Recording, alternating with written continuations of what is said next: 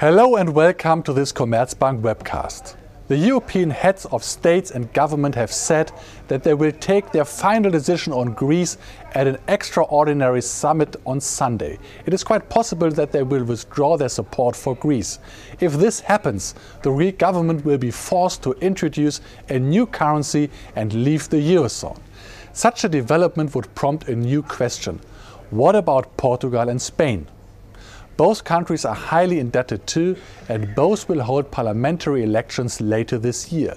Still, there are important arguments for the assumption that Portugal and Spain would not sustain any major damage from a Grexit.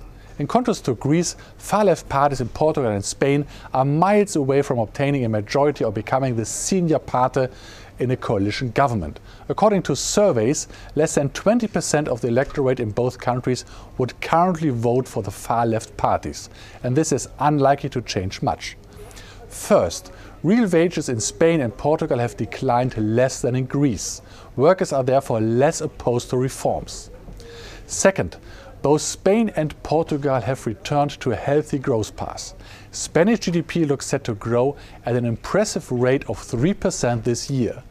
Overall economic output has almost returned to its pre-crisis levels in both countries, whereas Greek GDP is still 25% lower than in 2008. After the elections, the radical left is unlikely to be the dominant coalition partner in either Portugal or Spain economic policy will shift only marginally to the left in both countries. The new governments will only loosen the fiscal reins slightly and soften some social hardships. But this should not make investors nervous. Portugal and Spain will cope well with the Grexit, even if their spreads over bonds rise in the interim. Many thanks for your attention and enjoy reading our Week in Focus.